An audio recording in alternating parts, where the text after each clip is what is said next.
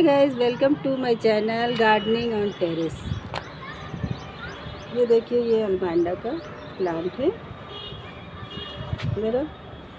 और ये इसका कलर है ब्राउनिश एंड पीच मरता हुआ। इंग्लिश कलर ज़रा नाम बताने में मुश्किल होती है। बहुत प्यारा कलर है। बहुत अच्छा कलर है ये। और आप, इसके कलर बहुत से आते हैं। वैसे येलो कलर मैरून कलर और और इंग्लिश कलर भी होते हैं। और इसकी बेल भी आती है, आप चाहे तो क्लैम्बर में लगाइए या प्लांट में लगाइए। तो ये मेरा सिक्स मंथ अगो मैंने इसको ग्रो किया था प्लांट छोटा सा लगाया था। लेकिन अब ये देखिए कितना बड़ा हो गया। और इसमें बहुत सारे फूल खिल रहे हैं। कलिए भी है, बस देखिए कितनी आई सब बहुत सारी बर्ड्स हैं। और प्लांट भी हेल्दी है, पत्तियों का कलर देखिए कितना ग्रीन है। इसकी वैरायटी भी आती हैं, कई तरह की। मेरे पास वैसे इसी वैरायटी के तीन प्लांट हैं।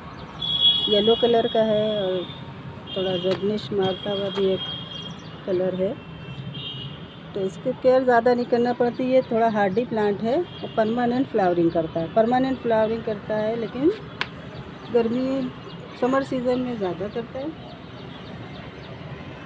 और बारिश में भी बहुत अच्छा रहता है। सन लविंग प्लांट है, इसको आप पूरा दिन टेरिस पे रखिए आराम से। ये धूप पाँच छः घंटे के, सात घंटे के सही रहेगा ये वेल ड्रेन मिट्टी बनाइए आप। और बिल्कुल वेल ड्रेन मिट्टी बनाइए आप। इसको थर्टी परसेंट गार्डन सॉइल ले लीजिए और थर्टी परसेंट कोको कोकोपिट ले लीजिए। थर्टी परसेंट आप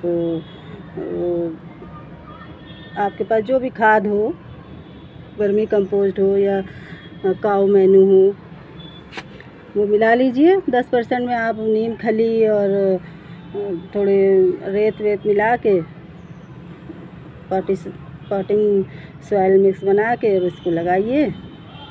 और इसको पानी दीजिए डेली डेली पानी दीजिए। तो इसको पसंद है। ओवर वाशिंग ना करें। लेकिन इसकी मिट्टी मॉइस रहनी चाहिए। मिट्टी मॉइस रहनी चाहिए और इसको यही अच्छा लगता है। और इसमें कीड़े ऐसे तो कोई फंगस, अंगस या कीड़े का अटैक होता नहीं है, लेकिन आप हर पंद्रह दिन में नीम ऑयल का स्प्रे कर दीजिए या जो फंजी साइड है, बारिश के मौसम में फंजी साइड डाल दीजिए। बस इसकी बहुत हल्की फुल्की केयर करिए और ये बहुत खुशी देगा आपको। ये सन लविंग प्लांट है। आप इसको पूरा दिन सन में रखिए। और आपको मेरा प्लांट कैसा लगा लाइक करिए एंड शेयर करिए और subscribe to my channel and touch the bell icon okay bye bye